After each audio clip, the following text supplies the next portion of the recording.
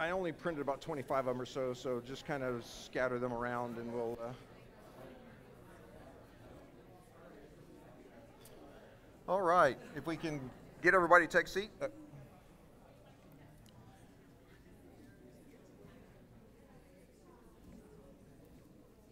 Our schedules get all kind of off when uh, the preacher goes overtime, so we'll have to get on to him about that.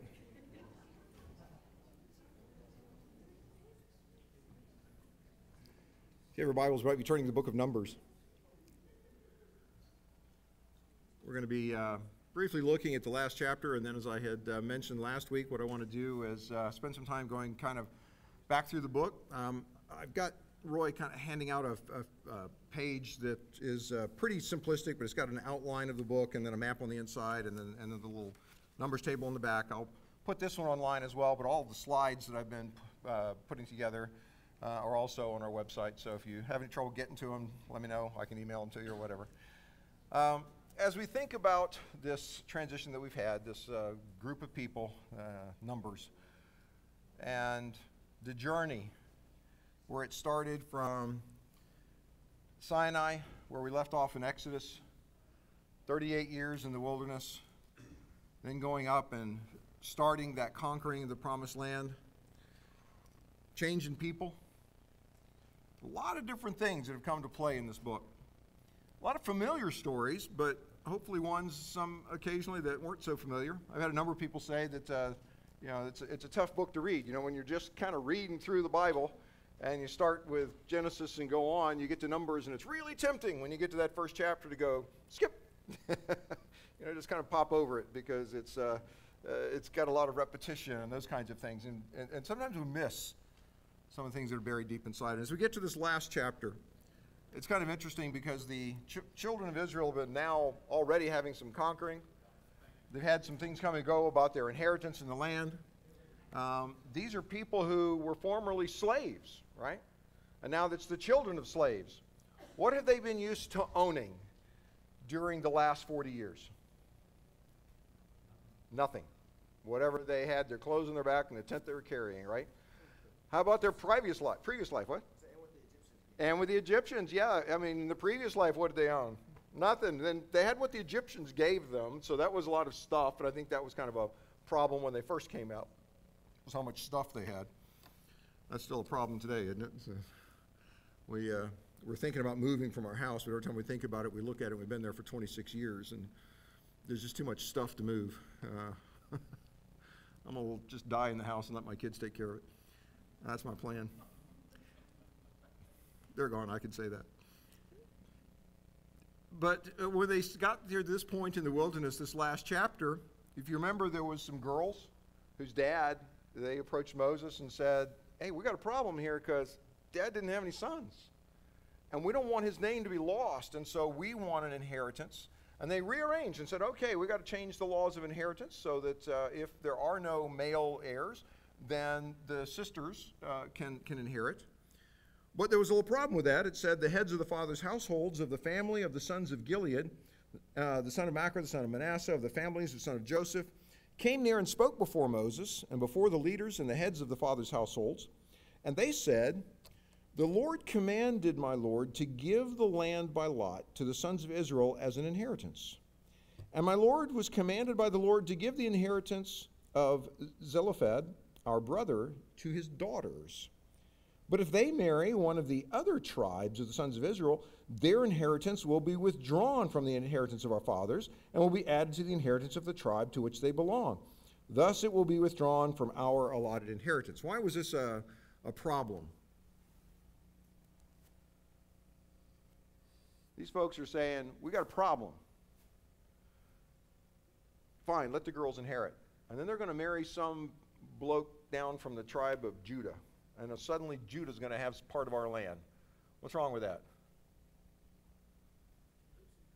What's that? Okay, yeah, you know, they didn't want to lose anything. This is an agricultural society. Land equals wealth, land equals opportunity, right? And so the tribes, as you can see from this exchange, were they a unified group of people, all for one, one for all kind of thing yet? Not not in the least. And it turns out that was a tough thing to achieve no matter what. Uh, it wasn't until David and Solomon that that kind of got put together. And how long did it hold together? 80 years, about that was it. Uh, 120 if you count Saul in there as well. But um, then we went to a divided kingdom, and even there, there were subfactions and breakups. So the other thing was they'd already had laws about this jubilee, and thanks to uh, Colin, who pointed out to me that I, I mis uh, said that last week or week before. I had said 70 years. It's not 70 years, it's 50 years. It's seven periods of seven plus one. So you get 49 plus one is 50. So uh, you'll excuse me for just getting a little exuberant with the sevens there. Um, but every 50 years in the Jubilee, what happened to all of the land? It reverted. You see, they couldn't sell the land, they could only sort of lease it. And the value that they could lease it for was based on how soon it was to the next Jubilee. If it was 50 years right afterwards, it was worth more. If there's only a year left, well, you're only going to be able to, you know, work it for a year before you had to return the land, and therefore it was not worth as much from a, from a lease standpoint. Um, so they're worried about this land disappearing, and easy cure. So when the uh, uh, Jubilee of the sons of Israel comes, and their inheritance will be added to the inheritance of the tribe. So Moses commands the sons of Israel, according to the word of the Lord, saying, The tribe of the sons of Joseph are right in their statements. This is what the Lord has commanded concerning the daughters of Zelophehad. Let them marry whom they wish, only they must marry within the family of the tribes of their father. So, as long as you have a big tribe, lots of people to choose from, not allowed to do the Romeo and Juliet thing where they get to pick from you know some other place. Uh, but quite often, how were marriages come about back then anyway? They're arranged. Okay, so somebody in the family is going to wind up arranging their marriage and so the idea is okay, we got to keep it in the family, and then that keeps it fixed. So that's kind of interesting as sort of the last way that this book, or the last topic this book covers. And down there in verse 10, it says, Just as the Lord had commanded Moses, so the daughters of Zelophehad did. Which I found interesting because now they were the ones who brought up this inequity. But they said, you know what, if that's the rules, we're going to follow the rules. We, they, they accomplished and did what they were asked to do. Does that seem like a strange place to end the book of Numbers? Anybody ever thought of that that way? I, I, I, don't know. Maybe I'm just weird in the way I think about things, but I always think about why does it begin the way it does, and why does it end the way it does? Because this was a distinct group of things. And I find that as I think about it, it begins by counting a lot of people. There were these hordes that came out of Egypt, and in Exodus, the whole concept there was the judgment on the, on the Pharaoh and on the Egyptians, right? And on the gods of Egypt, and that was a big point, is judging the gods of Egypt. And it took them from being slaves in Egypt to being free people, but in the wilderness of Sinai, totally dependent on God and getting the tabernacle and things together. And then it ends. And then we pick up with Numbers. And Numbers is the story of their development, it is the story of that 40 years. And so you look at it and you go, all right. It starts out by saying, how many people were there really? So it gives us an idea how big that crowd was. And then it goes through all of the troubles and the difficulties they had and the rebellions and things like that. And it ends on a point where it says, we've had to change some of our uh, customs but God's given us the path forward, and these daughters are showing an example.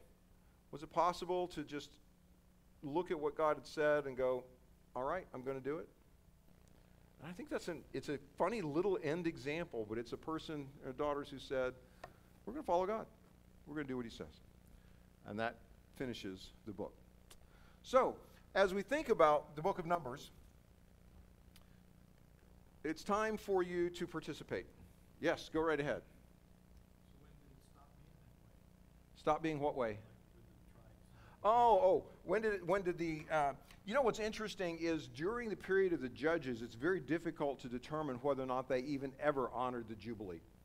Um, what, it, the period of the judges is so up and down that it's clear that, the, that the, this great momentum that they had going into the land, that's where when you pick up with Joshua, you get this other feeling of momentum, okay? Now they're crossing over, they're conquering the land. And then you get to the book of Judges, and you have that statement that says, And there was no king in Israel, and everyone did what was right in their own eyes.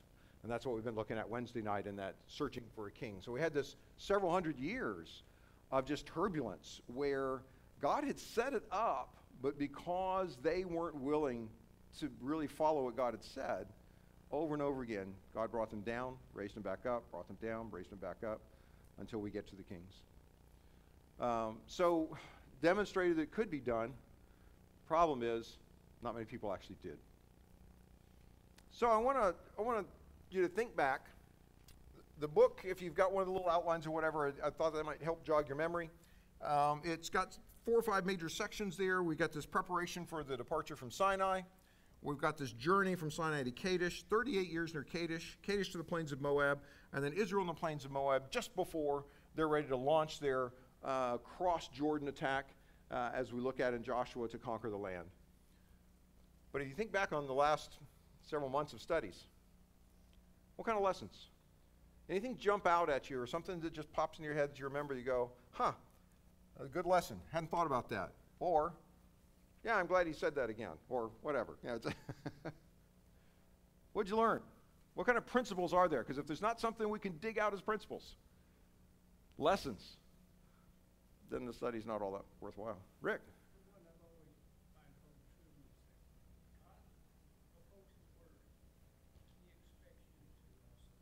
God upholds his word and he expects you to. Yeah. What, what examples do you remember from Numbers that kind of kind of bring that one out? I think there's several cases. Yeah, that's all right. Somebody help him out. Seth? Go ahead. Do, do your own thing there. Yeah.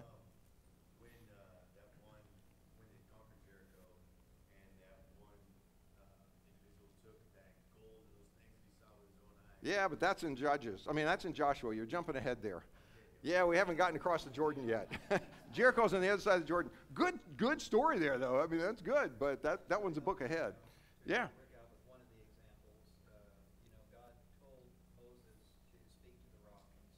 Okay. And we had Moses, who, as an example of one who was close to God and everything.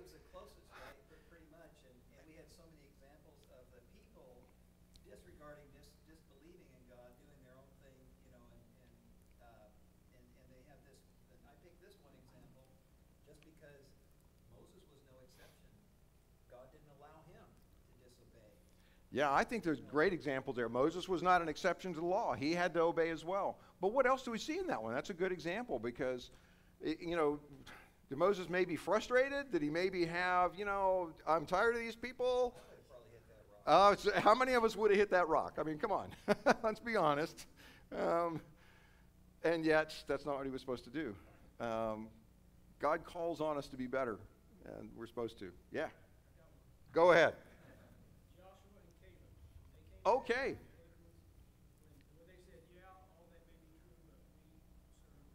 Absolutely, absolutely, great example. That's that's one of the stories that we hear as children, and we kind of forget that it comes from numbers sometimes, right? Is twelve spies in the land? They spend time, they come back, and it, and it seals their fate for forty years.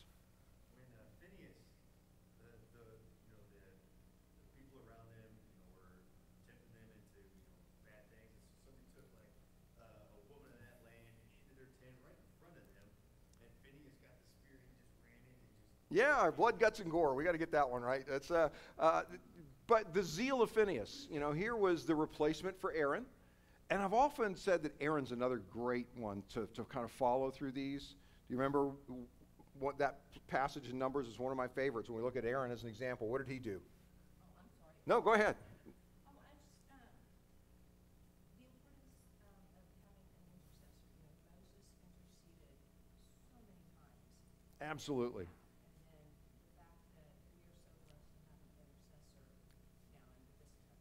Yeah, so uh, the, having an intercessor, someone who can stand between us, and that is what Aaron was doing as well, was he not? He, he took his stand between the living and the dead when the plague came. And we see quite a growth from that man who was the one who um, said, I just threw the stuff in and this calf walked out, you know, uh, all the way to take your censer and stand before God. Uh, so quite, quite a, an amazing uh, growth for Aaron and then to see Phineas, his son, he must have learned some lessons there. Probably learned from his brothers too. There's a couple of others that favor in this story, right? And anybody remember Nadab and Abihu? Uh, yeah, okay, lost them. Um, who again didn't follow God's law in a circumstance that was very public and very important. And, and I see some also, did you notice that people are held to different levels of things? Um, Moses was held to a pretty high level, was he not? Aaron was held to a pretty high level. And, and you know, Nadab and Abihu and these, they were public. They were figures that were seen there. And, you know, even in the New Testament, we see that, you know, let not many be teachers. You know, that's, that's, a, that's an awesome responsibility that you have uh, to stand up and teach. Uh, and yet, he calls us to do it, right? So it's, it's one of those things you look at it and go, am I safer not doing it? Am I Safer doing it? It's like, you know, you just have to be careful and understand that it's a thing of God. Yeah. Yeah, but as far as Aaron, you know, being held to a certain level, I think, yeah, he seemed to get away with one, because Miriam, who ended up being. It was Miriam who ended up during that re- rebellion. Right? Yeah, they were both complaining, and Miriam was the one who had to, to suffer the leprosy for a short time. Um, but again, somebody public who was the leader there, uh, there were consequences to the actions. And I think that's another big one. Seth. You know, it's, you you say when you read these stories, and a lot of times it's really easy to kind of armchair quarterback and people complaining about everything. But I think if we're reflective, take a look at our circumstances in our own life, we can very easily fall, fall trap in that very sort of complaining and Absolutely. perspective on, on all things that God has provided for us. I think that's something that I know I'm doing, so I think it's something we should take away.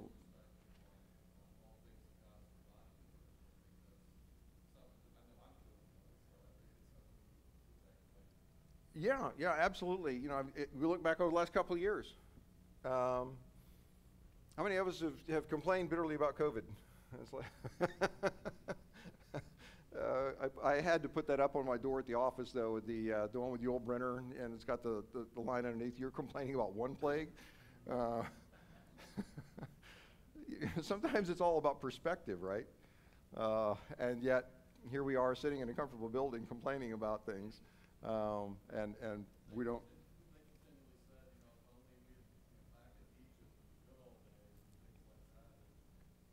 And that. Was their expression, right? Longing for the good old days. And you know, the older you get, the harder it is not to do that because we have selective memories. We, we tend to forget the bad things and only remember a few good things, right? And so when you want to get the, back to the good old days, the only thing that cures that is having kids. And when your kids are finally grown and out of the house, you look at it and you go, that was great. No, I'm not going back. Right? Revisionist history. And they weren't allowed to revise their history, right? That was it. What other lessons can we learn?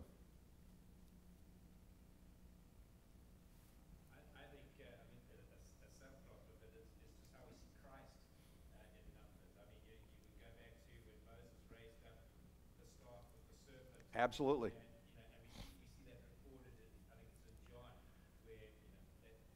Just as Christ was raised up.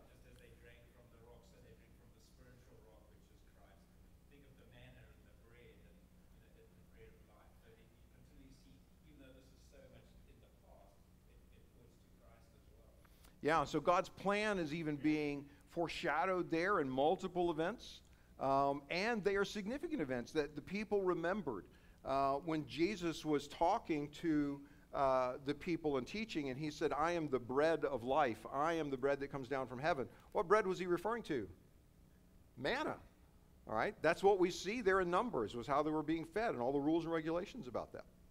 So, yeah, very, very good. The, the Numbers has a lot of very uh, uh, projective material that looks forward to that time of Christ.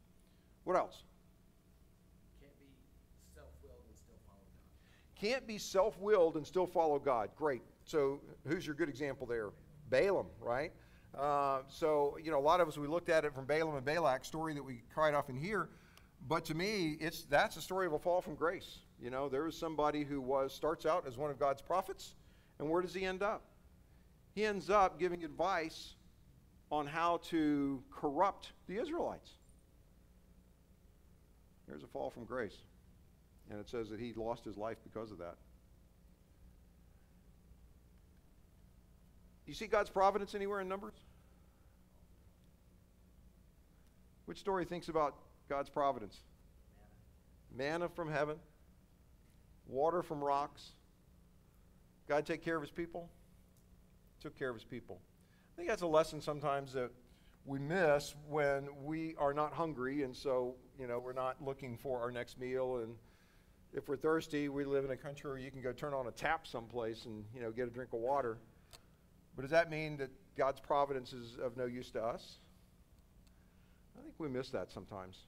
And thinking about really strong lesson here in Numbers God takes care of his people. Now, does that mean that they're always in the best circumstances and nothing ever goes wrong and they got no problems at all? No. That's not what it means. But we go up to the New Testament and he says, I'll not give you any burden that I know you can't bear. The, the Hebrew words for that are, I recall from a lesson many years ago, Yahweh Jireh, God provides. Jireh is the. Yeah, God provides. Anything else? Rick? talking about the promise there, and I'm reading Numbers chapter six, twenty-two through twenty-seven. And God tells Moses to tell Aaron, uh, and his sons, this is how you are to bless the Israelites. Say to them, the Lord bless you and keep you, the Lord make his face shine upon you, and be gracious to you. The Lord turn his face toward you and give you peace. So they will put my name on the Israelites, and I will bless them, and we should do that. Absolutely. I love that passage. The Lord bless you and keep you. That was that was how they opened up every time, you know, that it was time to address the people. Was the Lord bless you and keep you. Hopefully, it's, it's not too much of a reach, but I mean, it can be difficult. Obviously, it's difficult leading a group of people, and obviously times are different, but I can't help but think, you know, you as, you know, you, Kenneth, you and, and Rob and, and Greg as elders, you know, when you have a group of people that you're being flocked here as elders, and how that can be difficult and drawing lessons from that, you know, I, I don't know if that's too much. Yeah, no, anybody in a position of leadership is going to have to be ready and prepared. And I think it's interesting as you look at how the leaders handled the problems. There were times when Moses was interceding, there were times when Moses was angry at the people, and it depended on the circumstances and what was going on. And every case winds up being different. And, you know, it's. We're not all in the wilderness together, but, you know, still, I think I don't know. Sometimes when I look out and there's no rain and it's kind of a drought, I can imagine the wilderness pretty easily. Rob? I, I, I like the idea, of course, it's, it's called numbers, and, and there, there was two census there. I mean, there was the, the, the, the first group of the men of war, and then the second group, but, you know, that went into the promised land. Yeah. And just the whole idea of numbers, and even that, yeah, again, the providence, uh, you know, God, God knows the numbers of the hairs on our head. God, God, God knew every one of those men of war. I mean, they were numbered. God knows every one of us too. There's just that, that aspect. I think that's a great thing as we start looking at why did they have to number them? Well, I think God wanted them to understand what they had around. They didn't have an organization, whatnot there, but but I already know that number. I know what the number is going to be, right? He, he knew every one of his people. Um, and same today. You know, we don't have to worry about it. God knows his people. He knows his people. What else we got? God can be moved. God can be moved. Yeah. Did God ever listen to the prayers of Moses and listen to the prayers of Aaron? And, and it says that he changed his mind. You know, he had, he had had one path that could have gone. And, and I, I look at it as uh, every one of these stories we've been talking about, sometimes we forget does sin have consequences? One of the ways that we learn that sin has consequences is by looking at these kind of stories, right? What did they do? And what happened. My uh, youngest son quite often says that he got in less trouble than the older two because he was wise and watched them. And when they got in trouble, he would think, well, maybe that's not such a good thing to do. Might be some truth to that. It might be the fact that he was third, too, but that's a different story. Uh, but sometimes we can learn from others. And, you know, there's that old saying if you don't learn from history, what are you destined to do? Repeat it. And have we seen, in uh, essence, the repetition of some of these same things that we ran into in Numbers? You know, people that start out one way and end up another, people that don't trust in God, people that do trust in God, all of that, that's, that's all part of the examples that we have. And I love that, that he says these things were written before time for us as examples. So that's what this book is. It's A whole bunch of examples that we can say, how does God deal with people? Well, there they are. And when people do things, is it possible to be forgiven and still have consequences? See, I think that's one of the biggest lessons of this. Because Moses intervened. God said, I'm just going to kill all the people that decided to rebel and not go into the land. He said, Moses, you stand over there, you and Joshua and Caleb, and probably some Levites that would have been with them because they were, you know, called out later on. And he said, We'll start over. And Moses begged and he said, Please forgive them. God said, I have forgiven them. At your word, I have forgiven them. But there's still consequences. Sometimes we look at forgiveness of sins as almost a get out of jail free card, right? That if God forgives us, then maybe we're not responsible for anything. If someone was a thief and had a house full of stolen stuff and decided to come to Christ, what would be one of the first things they'd have to do? Give it all back, right? It's not like you can go, well, I got a do over. You know, I can keep all of this, ill gotten gain. Well, same thing there in, in them. They, they rebelled. And as such, it said, then you don't get to go. You came out of Egypt, you're going all this way, and for 38 years, you're going to live in the wilderness. The, the differences to me that gives me pause is that back then things were dealt with immediately. Yeah, yeah. So now, I mean, people who, who I think should be, you know, put in jail, head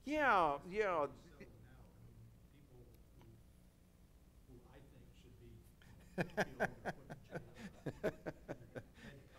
We, we have that impatience, don't we? We do not have the patience of God. Uh, I think we can all sympathize with that. And I would say, yeah, and a lot of the cases we get this feeling of it being immediate, and yet, how about that person who was just over 20,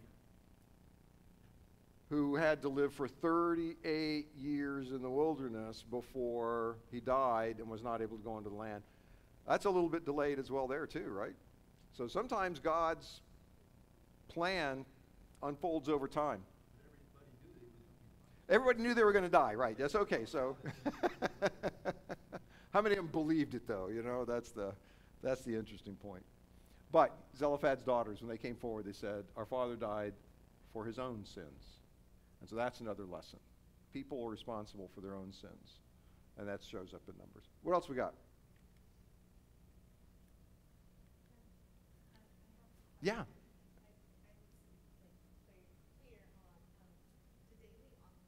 Mm-hmm. Yes, they were still going on during Jesus' time. I I just cannot fathom that, and then the fact that, is it like, was the temple supposed to be up for the offerings to happen, or were things?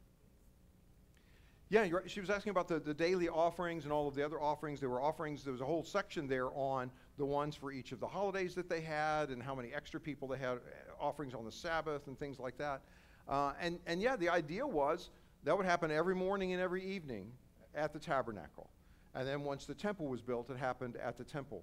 Um, and that was to go on in per- perpetuity. And in fact, it went on. There were some brief hiatuses. There were times when it couldn't happen, when they didn't have a temple, when it was destroyed by uh, Nebuchadnezzar, and they went into Babylonian captivity for 70 years. They didn't have the temp- They didn't have the ability to offer sacrifices uh, under that system, and then they had to rebuild it and start it up again under Ezra. Um, but by the time they got to 70 A.D. and the Romans destroyed the temple, there was no way to offer those offerings anytime after that, and so they they went on until about 70 A.D. Morning and evening, every morning, every evening. Good point, though, because those are all laid out there in the book of Numbers.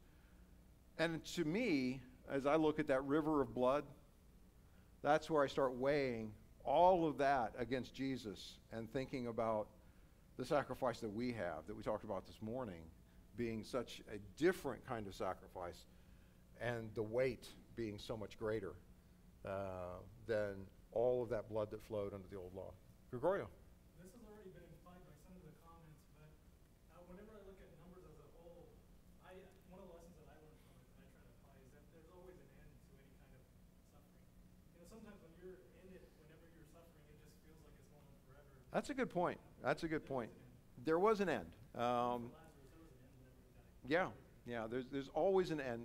Um, sometimes it is death, but a lot of times the circumstances would change or, or whatever. So um, the only thing that endures forever, it said, was God's word and our souls. Um, so everything else here is kind of temporary. It's tough for us. We have a timeline, you know, and, and when, when, when the time is ticking, it just seems like everything lasts forever. Um, it gets a little shorter as you grow up, doesn't it? As you get older. Um, everybody remember the, the time warp. Uh, when I was, you know, very, very young, it was at least seven years between Christmases. You know, from one Christmas to the next. It was forever, right? And now, now it's about three weeks. You know, and you look back and you go, what happened this year? it's that time of year again to start all over. Uh, but in all instances, God says, I'll take care of you. And the other point that I put up here, God forgives the penitent, doesn't he? Those who, especially the serpent that uh, Rob brought up, what was it that was going to heal them? Was it just looking at that serpent? It was faith. It was them realizing that they'd done what was wrong and that they needed to look to God, look up, uh, to be forgiven. So God's forgiveness is, is all over the book of Numbers. Um, even the faithful can succumb to temptation. We mentioned that with Moses, right? And that it, we see Aaron and Moses and others that you would just consider to be absolutely God's faithful. And it, so we have no cause to look down on any of them, um, but to put ourselves in the place of going, what's the right thing to do when we fail? It's not if, it's when. And the right thing to do is what they did, which was to come back to God. Overall, and this is one you can put in almost any Old Testament book, can't you? God keeps his promises. Sometimes it's not exactly like we want it to be kept, right? God said, I'm going to give you the promised land. And so they came out of Egypt with great expectations. And you think any of them were disappointed in that group that when he said, sorry, you can't go in? Think there was any disappointment there? Oh, yeah. Oh, yeah. Complaints, not fair. I, I, can imagine that Moses heard a lot of the that's not fair. But did God keep his promise? He absolutely did. What we have to do is remember that a lot of God's promises, there's two kinds of promises, right? There's unconditional and conditional promises. And God's made a few unconditional ones. It was an unconditional promise that he would give them the land. The conditional part was who he gave it to, which one of them, because he had a whole lot of descendants to pick from there. You know, you think about that one in particular, and you talk about those consequences, of, you know, for all those folks that were above twenty, right? Um, What it doesn't say specifically is those people didn't enter the kingdom at, at the end of their lives, right? Yeah. What we know is they paid some consequence on earth by not going into the promised land. That didn't mean that God's judgment was so harsh that, that you won't enter into the heavenly kingdom. No, and, and uh, to a good point, especially when it says he forgave them of that sin, of that rebellion, and so that was not to their account. But the rest of their lives were going to be based on, are they going to have faith in God during that time? So a person who had rebelled, who would turn back to God, and from then forward do their best to follow God, could they be forgiven and, and be part of his kingdom? Absolutely. They would have to understand that the consequence was still there. They weren't going to go into the land. That didn't mean that they couldn't turn and be faithful to God. So we don't get the idea that all of those people over the age of 20 were just absolutely, you know, doomed to hell. It's just they had a consequence to their rebellion. It says that each one would be judged based on his own sins, right? And so that's a concept that is, is very clear there in Numbers as well. Talk about people just for a minute. We got just a couple of minutes left. Who do you remember in Numbers? And don't tell me Moses and Aaron. All right, I stole the top two. Eleazar, okay, we got a good one there. Yeah, who else? Joshua, Joshua, and who else? You, you, you, when you say Joshua, you got to put another name with it, right? Caleb, Joshua and Caleb, you know. We never remember the names of the other 10, but we remember those two names. What's that? Miriam was in there. She was a very influential person. And, you know, after they crossed the Red Sea, uh, or uh, she was the one who led the women and, and was a very influential person there. Phineas, Phineas you know, another great one with uh, uh, the zeal that he had for God. Korah, yeah, you know, they had a lot of good ones we've named, but there's some names that crop up that you go, ooh, you know, kind of kind of tough there. Korah's rebellion. Um, what was one of the visible results from Korah's rebellion that lasted for a long time? We talk about things to remember. This was something that every time they walked into the tabernacle, they would remember Korah's rebellion. What was it? They the uh, took all the brass censers, hammered them out, and plated the altar. So, can you imagine that? Every time that you walked in and you looked at that altar, what did you see? You saw the brass censers from Korah's rebellion, and you would remember that. that uh, God gives us memorials, right? And that's one of the things that He wants us to do is remember things. So the brass plating was one. The pile of rocks in various places, they were all things.